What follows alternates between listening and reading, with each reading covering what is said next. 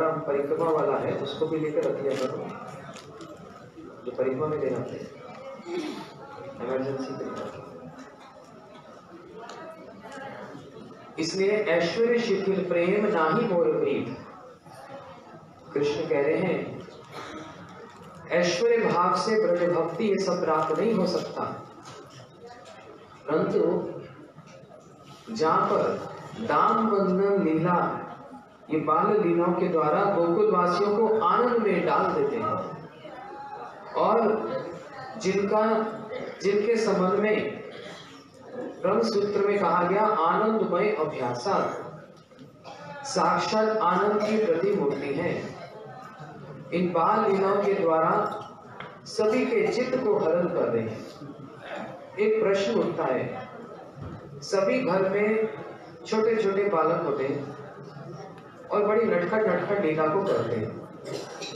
और सारे घर वालों के केंद्र वही बालक ही होते हैं। सबको आनंद में वो डुबा देते हैं।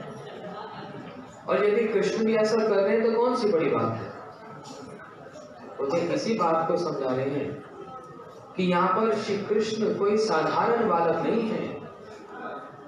ये साक्षात पर ब्रह्म है। वह ब्रह्म पर ब्रह्म हो, होते हुए भी साधारण बाल लीलाओं को कर रहे हैं। ये विशेषता है। श्रुति अपारे स्मृति तिरे भारत अनंत भाभर पिता। अहम इहा नंद वंदे पर ब्रह्म श्रुति स्मृति महाभारत कुछ भी कहे बोलते नंद बाबा के प्रणाम। जिनके आँगन में जो पर ब्रह्म है वह साधारण बाल लीलाओं को कर रहे हैं, जो पर ब्रह्म है। ये विशेषता है। इसलिए कृष्ण कह रहे हैं, जो ऐश्वर्य संपूर्ण ज्ञानी भक्तों के निकट, मैं अपने ऐश्वर्यहीन प्रेमी भक्तों द्वारा जीत लिया गया हूँ। उन दामोदर श्री कृष्ण को मैं प्रेम पूर्वक बारंबार वंदना करता हूँ। ये तो श्लोक का अर्थ हुआ। फिर इसमें टीका में बता रहे हैं।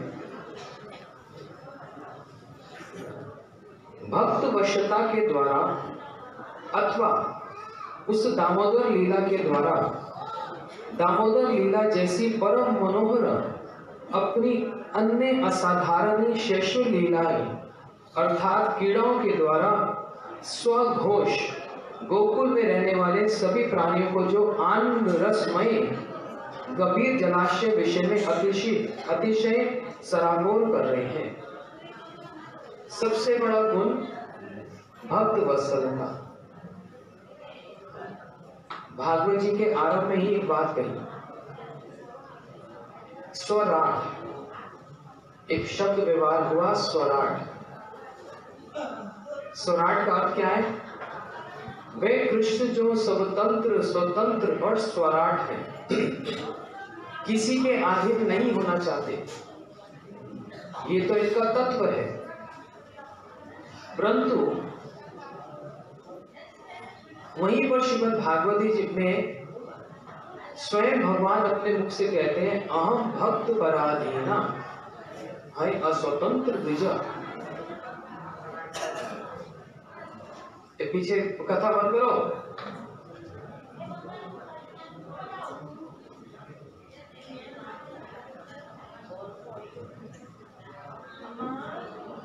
पीछे एक बार जाकर बोल दो तो। संध्या दीदी एक बार जाकर बोल दो। कथा सुनेंगे और बस ठीक ठीक करें क्या कह रहे हैं? स्वतंत्र स्वराट। ये स्वतंत्र है। किसी के अधीन नहीं। ब्रह्मा, शिव बड़े बड़े लोकपाल दिक्पाल इनके अधीन, इनके आदेश से सब कार्य करते हैं। सृष्टि इनके आदेश से होती। स्थिति और प्रलय। परंतु वही कृष्ण अपनी इच्छा से स्वयं अधीन होना चाहते हैं। इसलिए कह दिया, मैं अधीन काम होऊँगा? प्रेमी भक्तों के निकट ही अधीन हो सकता हूँ। अहम भक्त पराधीना। वहाँ पर ये नहीं कहा, अहम ज्ञानी अधीन जय महाराज। पूज्य पाद भक्तिदान महाराज जी की? वहाँ पर ये नहीं कह रहे कि हम कर्मी अधीना स्पष्ट रूप से कहा, हम भक्त पराधीन मैं अपने भक्तों के अधीन हूँ। अब जब भक्तों की बात आती है तो कुछ तो ऐश्वर्य परक भक्त भी हैं और कुछ माधुर्य परक भक्त भी हैं। जिसका जितना भाव उसी के अनुरूप ही उतनी ही भक्त वश्यता है। कहा ना कृष्ण से तुम्हार कृष्ण दीते पारो तुम्हार शक्ति आचे अमी तो कंगाल कृष्ण कृष्ण बोली, भाई तब पाच श्री भक्ति लक्ष्मण श्रीधर गोसाई महाराज जी, इस पंक्ति के संबंध में एक बात बता रहे कि श्री भक्त ठाकुर जी ने जो लिखा ये ऐसे नहीं, एक कविता को या एक भजन को लिखने के लिए बस उन्होंने पंक्ति को डाल दिया। उस समय भक्त ठाकुर जी एक दृश्य को ध्यान लगा रहे थे कि महाराज जी बता रहे और वो दृश्य क्या? भीष्म जिस समय बाण शैया पर लेटे हुए हैं, अर्जुन के द्वारा बाणों से भेद दिए गए और बाण शैया पर लेटे हुए हैं।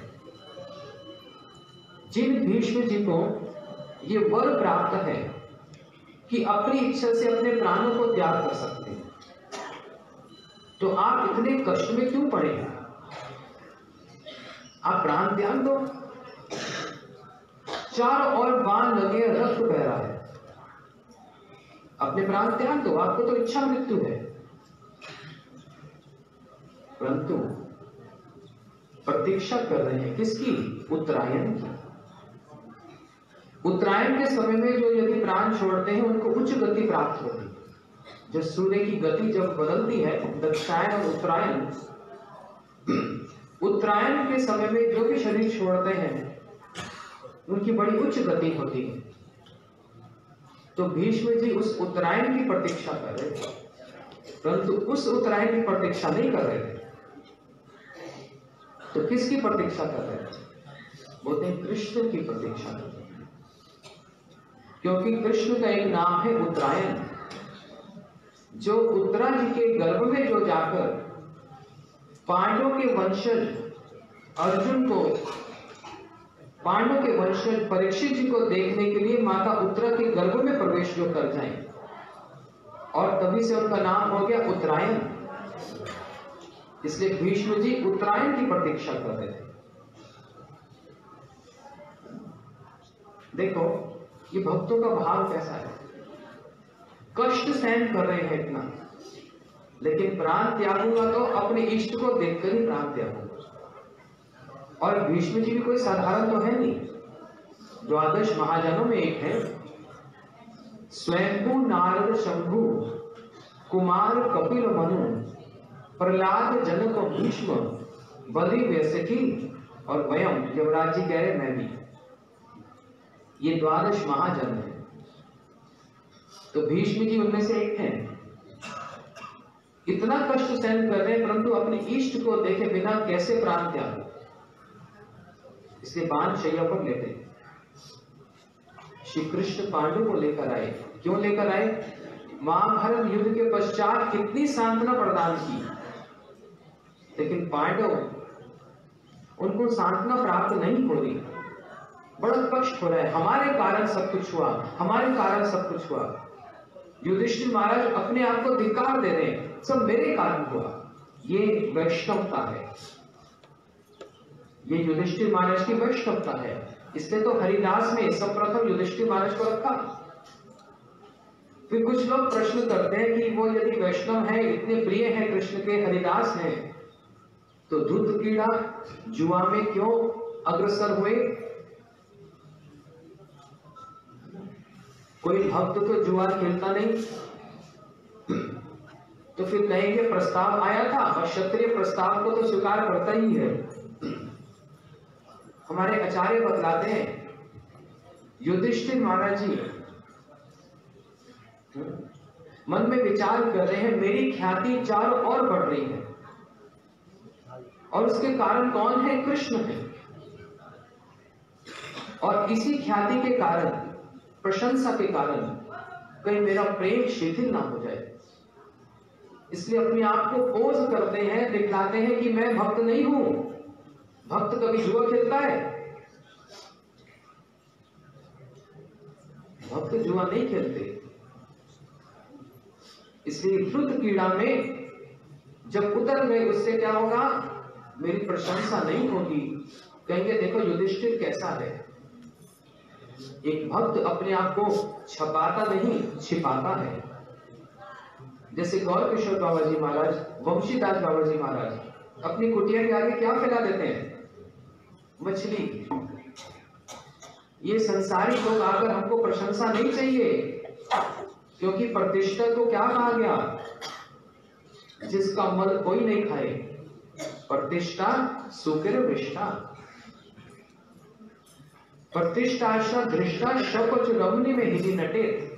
श्री रघुनाथ दास गोस्वामी जी कह रहे हैं शौपच कुत्ते का मांस खाने वाली जो रमनी, वो हृदय में नाचती है। प्रतिष्ठा नचा देती है सबको। और हर व्यक्ति को प्रशंसा चाहिए होती है। हर व्यक्ति को आदर चाहिए। ये एक मनुष्य प्रवृत्ति है। हर व्यक्ति को, किसी को आदर दो अच्छा लगेगा नहीं, बिल्कुल लगेगा। ये मनुष्य प्रवृत्ति है, लेकिन इससे ऊपर एक और प्रवृत्ति है। वैष्णव प्रवृत्ति। उसमें प्रतिष्ठित होने के पश्चात, उस स्थिति में, उस स्तर पर होने के पश्चात, प्रतिष्ठा से उतना ही भागता है। उतना ही भागता है। कौन? शुद्ध भक्त की बात कही जा रही है। एक साधक पक्ष की बात नहीं है यहाँ पर। शुद्ध भक्त की बात है। जहाँ पर मुक्ति स्वयं मुक्तांजलि जितनी रिद्धि, सिद्धि और मुक्तियाँ, स्वयं मुक्ति भी हाथ जोड़कर उस शुद्ध भक्त के पीछे पीछे दौड़ती है। मुक्ति स्वयं मुक्तांजलि हाथ जोड़कर कि प्रभु, आप तो भगवान की सेवा में लग गए, हमको भी लगा दो। हमको कोई पूछता नहीं। हमको ज्ञान ही पूछते हैं। और शुद्ध भक्त क्या कहता है? दूर है कृष्ण, दूर खड़ी रहो। मेरे निकट भी मत आना। तुम्हारी गंध मात्र भी, गंध मात्र भी मुझको कृष्ण की भक्ति से विस्मरण करा देती है, भुला देती है। दूर है कृष्ण, दूर खड़ी रहो। इसलिए ये जितनी रिद्धियाँ, सिद्धियाँ, मुक्तियाँ सब शुद्ध भक्त के पीछे पीछे चलती है। लेकिन संसार के बद्ध जीवों की दशा यही है कि जहाँ पर शुद्ध भक्त चलते हैं, मुक्ति और इस सब प्रकार की जो सिद्धियाँ उसके पीछे पीछे चलती हैं, लेकिन संसारी व्यक्ति समझता है, वे शुद्ध भक्त, प्रतिष्ठा और मुक्ति के पीछे भाग रहे हैं। क्योंकि उनका निकटता है। वास्तव में मुक्ति उनके पीछे भागती है। रूप गोस्वामी जी बता रहे हैं पद्यावली में।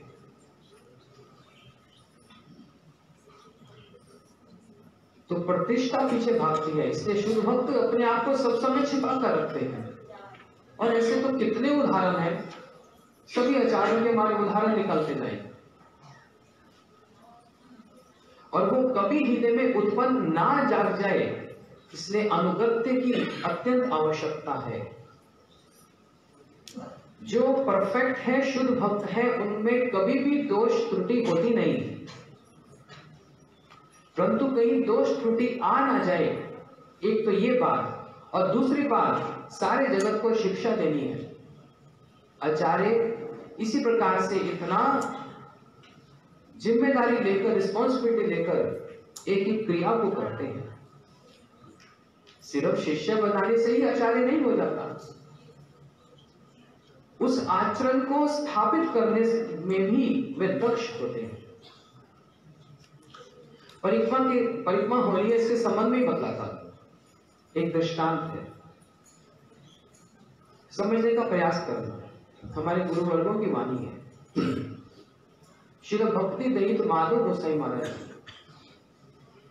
वे ब्रजमंडल परिक्रमा करते और जैसे परम गुरु जी के साथ बहुत सारे गुरु भाई उनके साथ रहकर परिक्रमा करते थे, ऐसी श्री भक्ति देव माधव गोसाई महाराज जी, प्रभुपाद जी के राइट हैंड माने जाते थे। और बहुत सारे गुरु भाई उनके साथ साथ परिक्रमा करते थे। और उनमें हमारे गुरु महाराज जी भी, उनका तो बहुत मैत्री भाव, सारा जीवन उनके साथ ही रहे। अब श्री भक्ति देव माधव गोसाई महाराज जी अप्रकट हो गए। आचार्य कौन हुए उनके पश्चात श्रीमद भक्ति वल्लभ तीर्थ गोसाई महाराज। अब वो आचार्य हैं और सारी परिक्रमा को लीड कर रहे हैं। अच्छा अब उसी परिक्रमा में कौन है? हमारे गुरु महाराज जी भी हैं। तो बड़े कौन हुए? आचार्य बड़े हुए या गुरु महाराज जी बड़े हुए? अब उस समय उनकी आयु लगभग नब्बे वर्ष की थी। और हाथ में लाठी लेकर चलते अब निश्चित रूप से ब्रह्मचारी सन्यासी सब युवक हैं, जल्दी जल्दी चलते हैं और गुरु महाराज जी धीरे धीरे चलते हैं। और जिस गति से वह चलेंगे तो हो गई परिक्रमा सारा दिन फिर तो।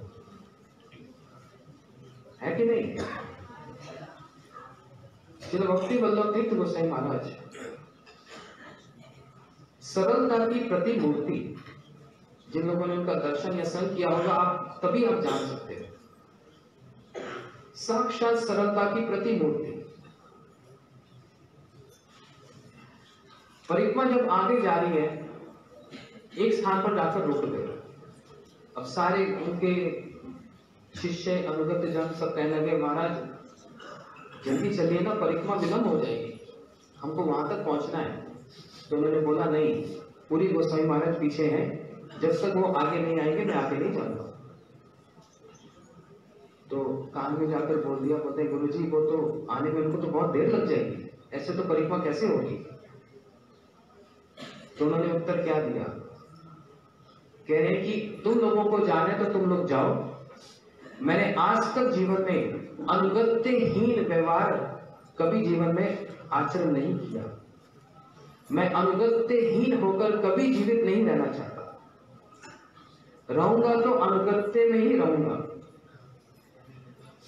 जिस प्रकार मेरे गुरु महाराज उनसे अभिन्न शिकोरी गोस्वामी महाराज, इतने श्रेष्ठ गुरुजन मेरे साथ चल रहे हैं, मैं अवज्ञा करके उनसे आगे जाऊँगा। ये कदापि संभव नहीं हो सकता। तुम लोगों को जाने तो जाओ। बोलते, महाराज जी, परिक्रमा नहीं होगी। बोलते, नहीं होने दो। जहाँ पर हमारा गंतव्य स्थान है, अगर हम वहाँ तक नहीं पहुँच पाते, मेरे को उसकी चिंता नहीं है। लेकिन मैं अनुगत्यहीन होकर कभी जीवित नहीं रहना चाहता। अब इसमें बहुत सी डिटेल्स हैं, मगर उनकी एक ये जो शब्द है, वो एक शब्द वो एक व्यवहार, वही समस्त जितने आश्चर्यजन हैं, सबको एक शिक्षा प्राप्त हो गई। क्या शिक्षा प्राप्त हुई? कि गुरु जी हमारे बस वही गुरु जी हैं, बाकी सब तो कोई मतलब ही नहीं होता। बस हमारे गुरुजी गुरुजी हैं, वही जगत गुरु हैं, बाकी सब तो आते जाते रहते उनकी क्या बात है? इसलिए आलोचना करने की आवश्यकता है। प्रभुपाद जी के पार्षद गणों के चरित्र को एक एक उठाकर यदि देखा जाएगा अनुगत्यहीन नहीं है वहाँ पर। कितने गहरा विचार है। और जो जितने विचार में डूबेगा, जितना गहन होगा, उतना ही वो उज्जवल और उतना ही जगत को शिक्षक देने वाला होगा। बिना विचार के नहीं होगा। हर वस्तु में विचार है। एक एक बात पर विचार है। एक एक उनके क्रियाओं पे विचार है।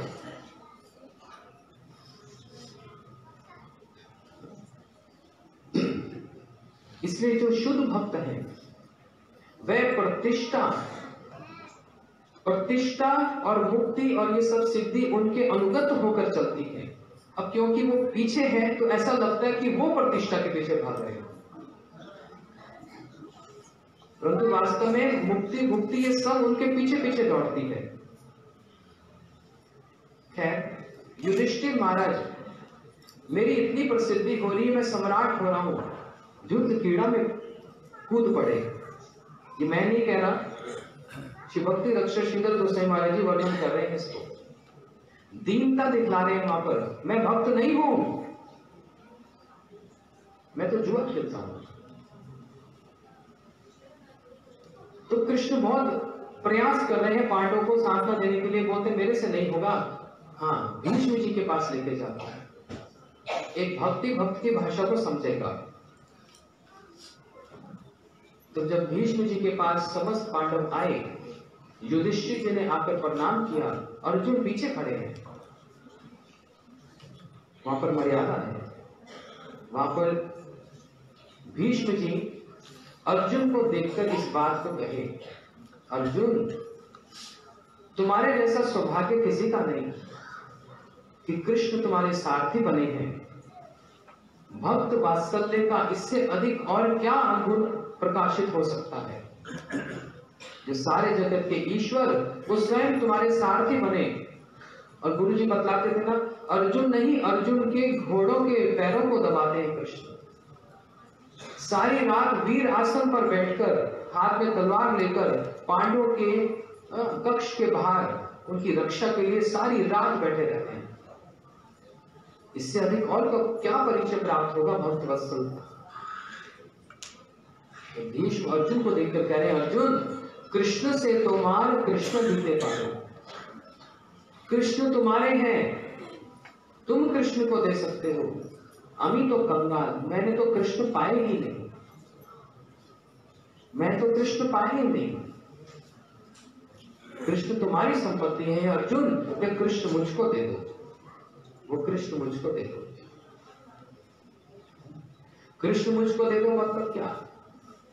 क्या भीष्म जी को कृष्ण प्राप्त नहीं है? है। परंतु ये एक ऐसा अनंत भंडार है नाम ही जिनका अनंत है, कि जो जितना प्राप्त करता है, उसको लगता है पूर्णतः प्राप्त नहीं हुई है, जबकि अपने आप में वे पूर्ण है। जो इनको प्राप्त करता है, उसको अपूर्णता प्राप्त होती है। एक ऐसा विरुद्ध धर्माश्रय है। जो कृष्ण पूर्णता को प्राप्त है, जो अनंत है, लेकिन जो उनको प्राप्त करना चाहता है, उसको सदैव अपूर्णता ही प्रतीति होती है। अतृप्त रहता है। शांत नहीं रहता, अशांत रहता है। और चाहता है, और चाहता है, और चाहता है, और चाहता है। यही विशेषता है। तो इसी दृश्य को देखकर भक्ति ठाकुर जी ने ये वैष्णव वंदना में इस पंक्ति को लिखा कृष्ण से तुम्हार कृष्ण दीते पारो, तुम्हार शतक याचे। अब इसी संबंध में श्री भक्ति ज्ञान घाटी गोस्वामी महाराज जी कहते हैं जिस, जिन्होंने जितना कृष्ण को प्राप्त किया, वो उतना ही तो दे सकता है। कृष्ण तो अथा है, अनंत है। किसने किसको प्राप्त, कितना प्राप्त किया, वो उतना ही कृष्ण दे सकता है। ऐश्वर्य भाव वाले कृष्ण को उतना ही कृष्ण दे पाएँगे। और ब्रजवासी में भी दास्य रस वाले उतना ही कृष्ण दे पाएँगे। सत्य रस वाले उनसे उन्नत उतना दे पाएँगे। और वात्सल्य रस वाले, फिर उससे उन्नत जो रस है, जबकि वे समस्त रस अपने आप में पूर्णता को ही प्राप्त है। वह अपने आप में पूर्णता को ही प्राप्त है। परंतु तारतम्य भेद से दास्य, सख्य, वात्सल्य और मधुर रस को देखा जाता है। क्योंकि दास्य रस में श्री कृष्ण की विश्वम्र सेवा है। परंतु वहाँ पर सत्य रस की भांति निसंकोचता नहीं है। निसंकोचता नहीं है। कंधे पे नहीं चढ़ेंगे, ना कंधे पे चढ़ाएँगे।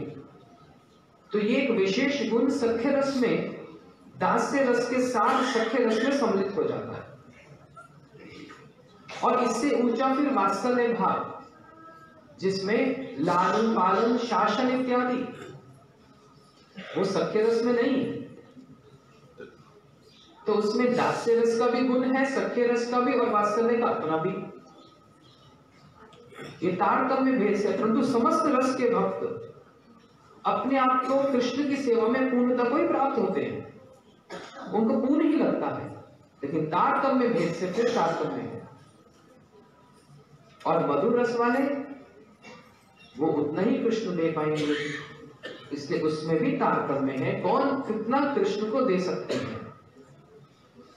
और सबसे अधिक वो कृष्ण को कौन देंगे?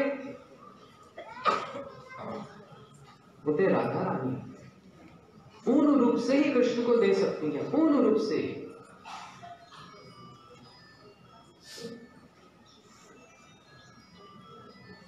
माधुर्य रस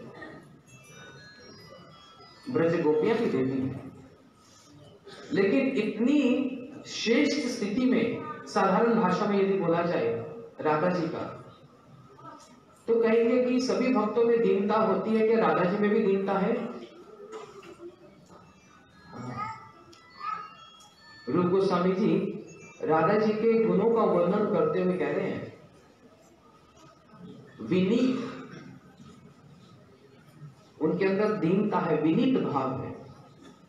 अपि गोकुल प्रसिद्धे भ्रू भ्रमवी परिजन निषेधापि पीठम उच्च राधा हरिनाथ रूप गोस्वामी जी उज्जवल निम्बनी में वर्णन कर रहे हैं। कल हम ऊँचा गाँव गए थे ललिता जी के स्थान पर। ललिता जी क्या कर रही है?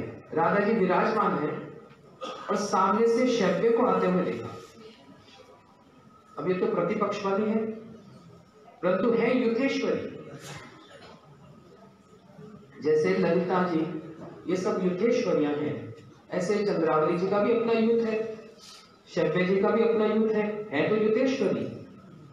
तो रूप गोस्वामी जी कह रहे हैं अपि गोकुल प्रसिद्ध गोकुल में इतनी प्रसिद्ध है श्री राधा जी। भ्रू भ्रमपी परिजन निषेधापी। ललित राधा जी ने देखा दूर से शैव्या जी आ रही हैं, खड़े होकर उनका स्वागत करना चाह रही का लेकिन ललिता जी ने अपनी भ्रुकुटी के द्वारा राधा जी को बिठा दिया। चुपचाप बैठे रहो। आपको खड़े होने की आवश्यकता नहीं अपि गोकुल प्रसिद्ध भ्रू भ्रमोपी परिजन निषेधापी। ललिता जी उनको निषेध कर रही है। खड़े होने की आवश्यकता नहीं है। बैठे रहो। पीठम उच्च राधा तब भी राधा जी उन शव्य जी का स्वागत करने के लिए खड़ी हुई अपनी प्रतिपक्ष वालों। इतनी दीनहीन है राधा जी। ये तो एक एक उदाहरण है, रूप गोस्वामी जी उल्लेख कर रहे हैं, परंतु यदि उठाकर देखें तो फिर ऐसे तो बहुत ही उदाहरण होंगे। तो वो संपूर्ण रूप से कृष्ण कौन प्रदान कर सकते हैं? महाप्रभु जी ने कह दिया, गोपी भरतु पद कमल दास दास अनुदास। वह श्री कृष्ण, जो गोपी भरतु है, राधा जी के जो प्रियतम है वे पूर्ण रूप से कृष्ण का प्रदान कर सकते हैं। इसलिए सब राधे राधे, और राधा जी की महिमा को भी व्याख्यान करते हैं। आप भी कृष्ण को पूर्ण, पूर्णता प्रदान कर सकती है। राधा रानी। इसलिए उस महामंत्र में सबसे पहले हम राधा जी की वंदना करते हैं। हरे। सर्वचेत हर कृष्ण से चित्तम हरे जसो विदग्ध विस्तार कराना हरा महा हरे का अर्थ क्या? सर्वचेत हरे कृष्ण से चित्तम हरे जसो श्री कृष्ण सबके चित्त को हरण करते हैं। लेकिन राधा जी जो कृष्ण के मन को कृष्ण के चित्त को भी जो हरण कर ले? उस हरे से, हरा से हो गया, हरे। फिर कृष्ण, कर्षति सालमन्य मुरली कल सुने, श्री राधा मोहन गुणानुकृतम कृष्ण जो अपनी वंशी के द्वारा, अपने रूप के द्वारा सबको अपनी ओर आकर्षित कर लेते हैं। यह है कृष्ण। इसलिए उस महामंत्र ही साधन, व महामंत्र ही सिद्धि है। उस महामंत्र का आरंभ ही हरे श्री राधा जी से ही होगा। वही पूर्णता को कृष्ण को पूर्ण रूप से प्रदान कर सकते हैं। इसलिए उन राधा जी के चरणों का, उन चरण धूल प्राप्ति के लिए ये सारा ब्रजमंडल तो बड़े बड़े यहाँ पर बैठे उस चरमभूत प्राप्ति के लिए। उद्धव जी, ब्रह्मा जी, ये सब? क्योंकि कृष्ण प्राप्त होंगे। राधा जी और फिर उनके जो तदात में प्राप्त जो जन है, उनकी कृपा से ही वे कृष्ण पूर्ण रूप से प्राप्त होंगे। इसी उद्देश्य को लेकर श्री गुरु जी के अनुगत में, जो कि राधा जी के कितने अंतरंग जिन्हों गुरु जी कहते हैं, मैं जिसका उचिष्ट खाता हूँ, उसी की बात तो कहूँगा। इसलिए उन्हीं राणा जी की बात को श्री गुरु जी के अनुगत में हम ब्रजमंडल परिक्रमा कर रहे हैं। किसी के अनुगत में नहीं, एकमात्र गुरु जी के अनुगत में ही ये ब्रजमंडल परिक्रमा चल रहे हैं। इसमें हमारे महाराज, हमारे भक्त लोग जो भी कथा सुना रहे हैं, वे सब गुरु जी से ही श्रवण की हुई उनके अनुगत में ही ये परिक्रमा चल रही है। किसी और व्यक्ति विशेष के अनुगत में नहीं चल रही। ये गुरु जी का ही परिवार है।